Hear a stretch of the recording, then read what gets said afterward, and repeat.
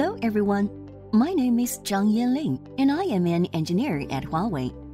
Today, I'd like to introduce the results of our recent performance tests, which compare the remote direct memory access over Converged Ethernet ROCE storage network in Huawei's NOF Plus storage network solution with the traditional FC storage network.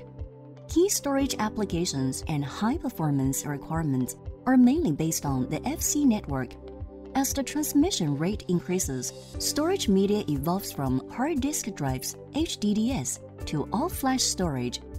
All-flash storage delivers a 100-fold improvement in read or write performance, and this has led to the evolution of storage protocols from the Serial Small Computer Systems Interface SCSI protocol to the High-Speed Parallel Non-Volatile Memory Express NVMe protocol NVMe significantly improves the storage throughput performance inside the storage system and reduces transmission latency. This is where the NVMe over Fabric NOF storage network comes in. There are several Fabric technologies. However, storage vendors tend to prefer NVMe over ROCE, which has become the mainstream choice for NOF. Huawei launched its NOF Plus storage network solution optimized for all-flash, which drastically improves performance, reliability, and ease of use compared with standard NOF. For example, a customer in the banking sector has a large number of FC networks on the live network and is in urgent need of upgrading the storage network. Consequently, they are looking for a network solution capable of replacing the legacy FCSAN network in high-performance scenarios. Can Huawei's ROCE SAN, the NOF Plus storage network solution, meet these requirements? To determine the answers, let's examine the process and the results of our performance comparison test involving both ROCE SAN and FC SAN. First, we need to set up a test environment based on this networking. There are four hosts in the test environment and each is configured with one 25GE ROCE NIC and one 32G FC NIC. The ROCE NIC has a port to connect to a CE switch, and the FC NIC has a port to connect to an FC switch. Switches are connected in cascading mode. Cascading bandwidth is much greater than the host access bandwidth, and the bandwidth for connecting to storage devices Dorado 6000 V6 is used as the storage device, a mid-range option featuring two controllers. The first step is to perform a test in a non-congestion scenario.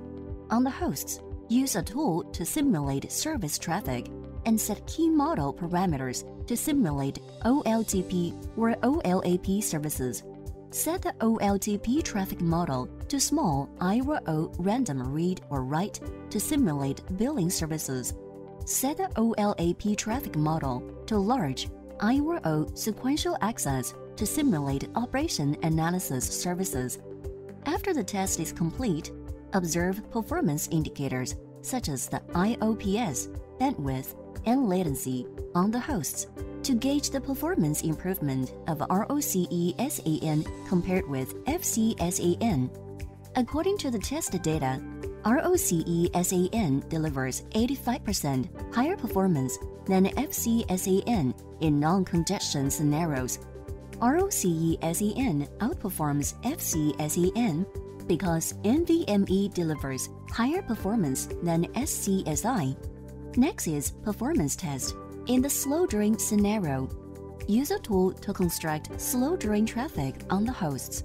Hosts 1, 2, and 3 concurrently access port A of the storage device to simulate sequential writes with 256 kilobytes OLAP data blocks, causing congestion.